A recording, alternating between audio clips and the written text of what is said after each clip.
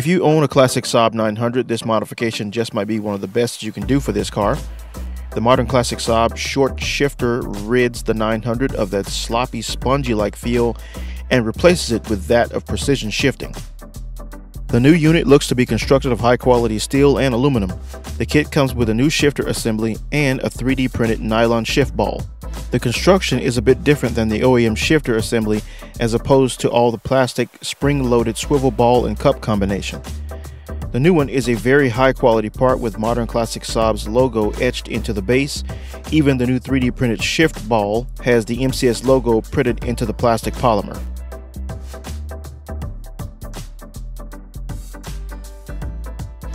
Here is a screenshot showing the two pieces side by side for a quick comparison. Before you can install this new piece, there are some parts inside the old unit that will need to be transferred over to make the new piece function properly. Get a glimpse of the old discolored plastics. You can clearly see these are worn out. These are likely the highest contribution to the sloppy, loose, rubber-like feel associated with shifting these older cars. To remove the ball cup assembly, this cotter pin must be removed. Here's how you remove the shifter. Removing the shifter in this car is very simple. This mod should only take about 30 minutes to complete. First, remove the shift knob by simply grabbing it and pulling on it vertically. On my car, the gator was already torn by the previous owner, so I was able to just slip it off. Normally this would stay on the shift rod. I'm going to move the shifter a bit.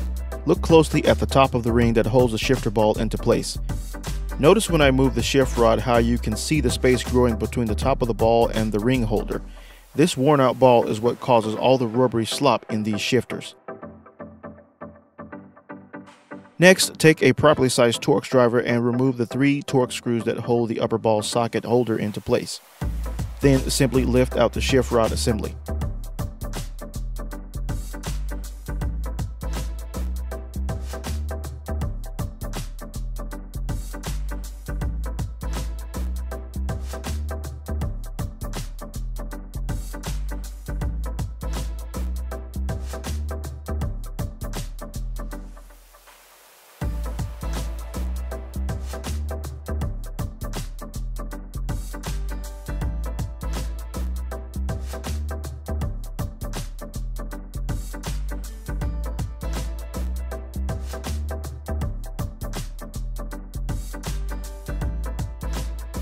Here's another close-up of the worn out shifter swiveling parts. You can see inside the shift rod and view the metal hook in one of these slots of the reverse gear lockout collar. This will need to be removed. First, you will want to remove the locking cotter pin and then slide the old swivel ball cup assembly off the shaft.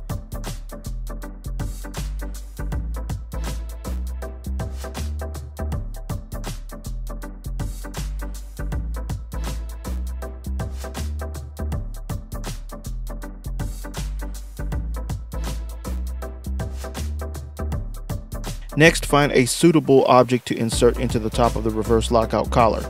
In my case, I used a suitable sized bolt to hold the hook tab still. The reason for this is that the hook tab needs to be held stationary because it is spring loaded. Next, unscrew the lockout pin at the bottom of the assembly. This is attached to the threaded hook tab shaft inside. Once disassembled, you can see the small shaft inside is threaded.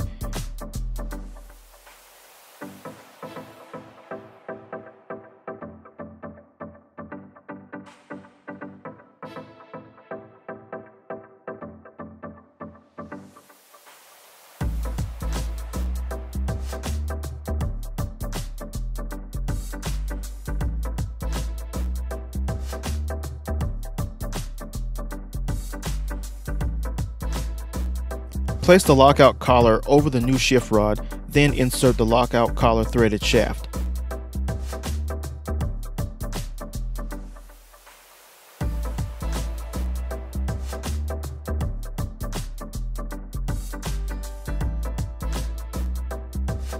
On the bottom of the assembly, insert the spring and then insert the lockout pin and turn the pin clockwise to thread the pin onto the shaft.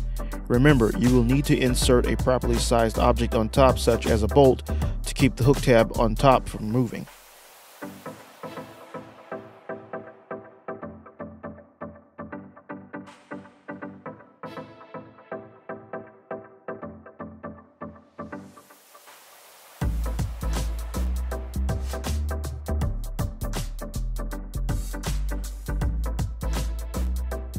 Once it's threaded into place, you will need to measure the pin.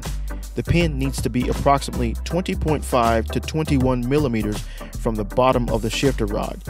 You can adjust the pin length by turning it counterclockwise or clockwise.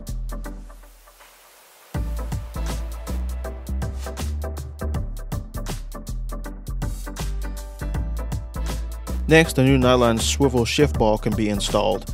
Simply slide it onto the shaft, align the holes, and insert the locking cotter pin.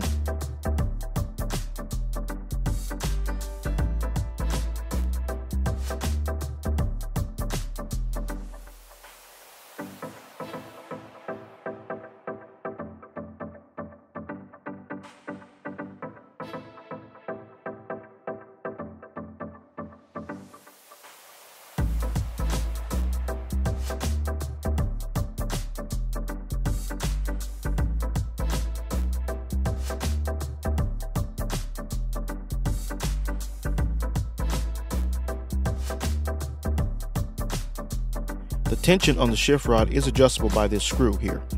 You can make the movement stiffer or looser to your liking.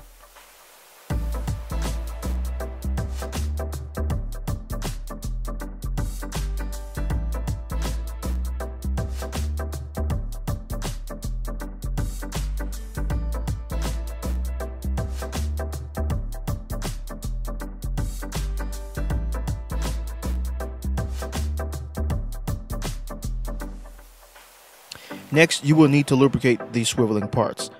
I highly recommend Lucas White Lithium Grease as it does a great job of lubricating plastic parts without breaking down the plastics. Take a nickel sized amount and massage it into the part.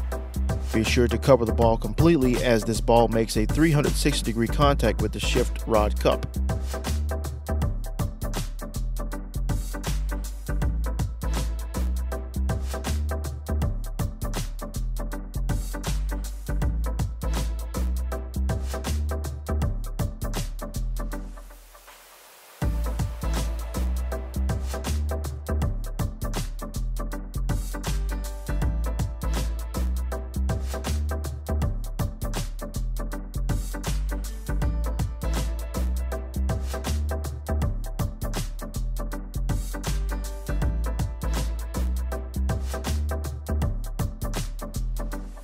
Take the notched side of the shift rod assembly and align it with the notch in the shifter housing and then lower the assembly into the housing.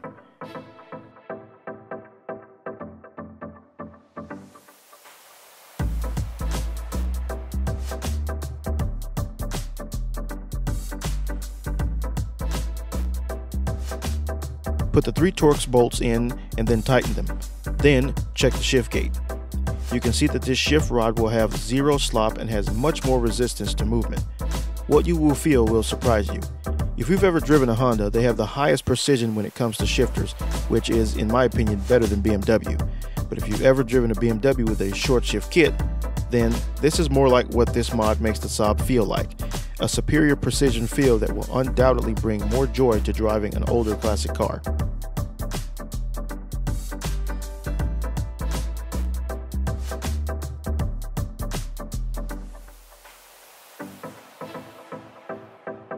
Not to worry, I have a like new gator that I will install at a later date.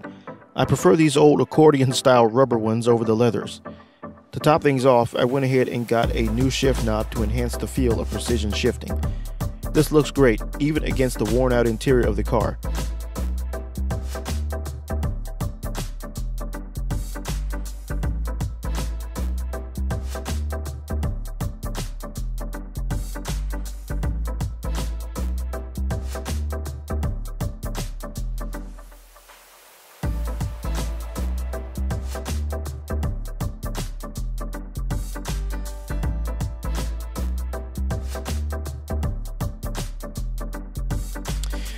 A while back, I mentioned that I would give you the source of where I could get a crank sensor for the Saab 900 cars. And of course, things are kind of funny. You know, after I posted that video, the prices of those things went up, way up, way more than what I paid for. But hey, you can still get them if you need one or two. Instead, I'll do this. I'll give you the part number and you can browse to see if you can still get them for good pricing. The part number is on the screen. You can put this into the Google search bar and price options and suppliers should populate and then you can choose. The part number was sourced from the Saab Central forum. Okay, that's going to complete today's video. If you like what you see, click that subscribe button and please like and share. See you in the next video.